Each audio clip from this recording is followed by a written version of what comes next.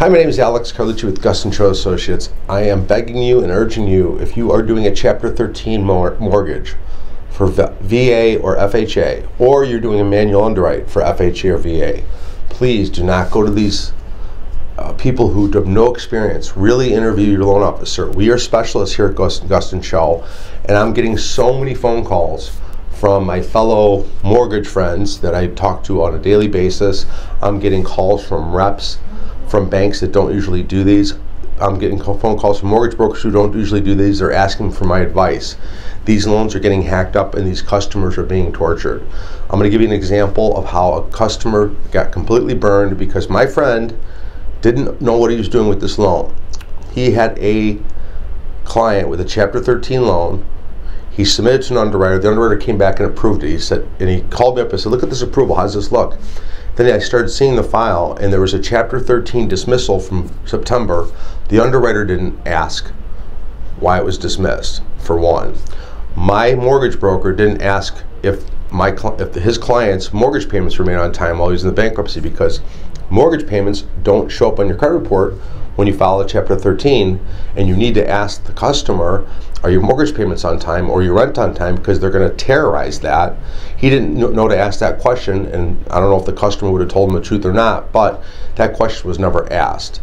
So then he also had a CAIVRS fail, which means he had a $30,000 20 year old student loan debt that was failing him from even getting an FHA loan.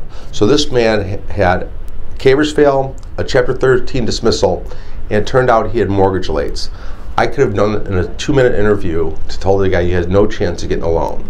So, because the underwriter didn't know what they were doing, because the mortgage broker didn't know what he was doing, I don't blame the customer. It's not his fault. Someone says yes to him, he just goes with the flow.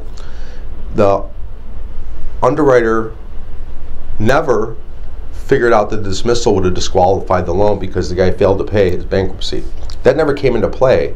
But if any other underwriter had to look at this or anybody down the road before it got clear to close might have caught it, it probably would have been caught.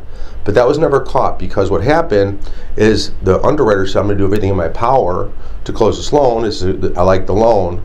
Then they did a mortgage supplement to see his mortgage payment was paid, and it was late multiple times in the last 24 months, which is a no no when you're in a Chapter 13 mortgage. So that disqualified the loan. But here's the problem. Before they did the supplement for the mortgage, he went out and paid that $30,000 student loan debt.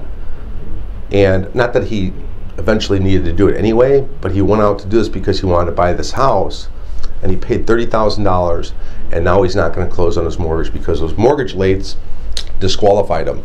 So the guy's out 30K. Now he paid off his debt, but maybe he could have saved that money and waited until he was ready to buy a house when he was clean and maybe it wasn't it wasn't necessary. So this is why i'm urging you. If you guys are doing a manual underwrite or a chapter 13 loan please give us a call.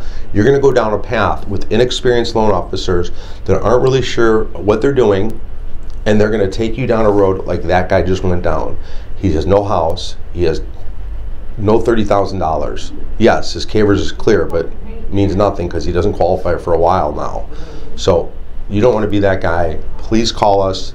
We are specialists. This is what we do every day. My friend does one of these every five years. I do 10 of these a month. So if you want to go with an average, inexperienced mortgage person that doesn't what he's doing because he sounds good and your realtor referred him, be my guest, but be prepared for disaster. These are very specialized loans, very, very intricate. There's so many little things that can go wrong. And if you want to give me a call, I'll tell you what those are.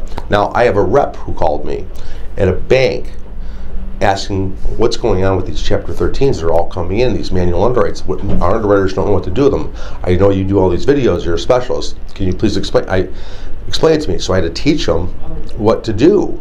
And he's like, I need to call you every time I get one of these. I, I don't even know what you just said to me. They're that complicated. The guy's been in the industry for 25 years, and I confused him on how intricate they are. They have so many twists and turns and things that have to be right. Please, if you're doing a manual underwrite or a Chapter 13 loan, give us a call first. At least listen to what we have to say. Um, if we give you bad news, it's because the underwriter's not going to close the loan. And if someone else tells you they can, you're going to go down a path of spending some money and not closing your loan because these underwriters are trained to see this. And if they're not, and they're not sure, they're going to have an underwriting manager look at their work before they close it because they're going to be like, I'm not sure what I just did. Can you look at it? And the underwriting manager is going to find it. So even if you got past that first wave of underwriting, doesn't mean you're in the clear. So please give us a call here at Gustan Cho Associates. It's our specialty, these loans. My phone number is 630 915 7550, and please hit subscribe and like. It helps us help you. Thank you.